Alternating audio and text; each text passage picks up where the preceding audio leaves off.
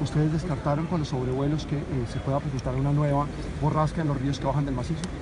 Eh, descartar eh, una nueva avalancha, pues no creo que sea responsable decir que estoy absolutamente seguro de que no.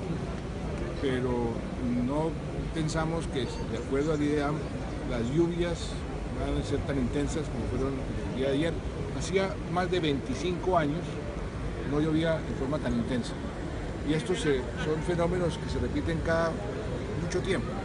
Entonces eh, no pensamos que esto se pueda volver a repetir y por eso quiero además hacer un llamado a la calma. Eh, lo que pasa es que mucha gente que sí está en esas zonas de alto riesgo, lo más prudente es que se trasladen a zonas de más bajo riesgo.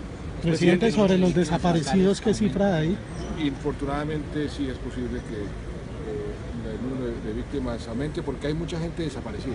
¿Cuántos? No sabemos todavía, no sabemos, estamos haciendo el inventario, muchas familias que dicen, "Se me- mi hijo no está, mi papá no está, mi mamá no está, eh, y estamos haciendo ese inventario. Todavía no lo tenemos, Lo- el número de, víctimas, de fallecidos, eh, la rapidez con que han crecido durante las últimas horas ha sido impresionante, eso le parte a uno el corazón, a mí me parte el corazón, y por eso lo primero que estamos haciendo es pidiendo a esas familias para decirles, aquí estamos.